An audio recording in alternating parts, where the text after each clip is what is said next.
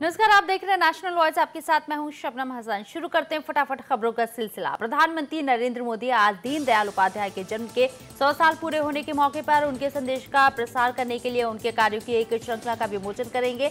पंद्रह संस्करण वाले the complete works of Deendayal Upadhyay संग्रह में उपाध्याय के जीवन की महत्वपूर्ण घटनाओं और उन्नीस भारत पाकिस्तान युद्ध ताशकंद समझौता और गोवा की मुक्ति जैसे अहम घटनाओं समेत यहाँ पर देश और जनसंघ की यात्रा को रेखांकित किया गया है। इसके अतिरिक्त अंतिम में यहाँ पर पहले वाले संस्करण में उपाध्याय के उन्नीस सौ सड़सठ में जनसंघ प्रमुख बनने के तुरंत बाद उनकी हत्या संबंधी घटनाओं का भी ज़िक्र किया गया है।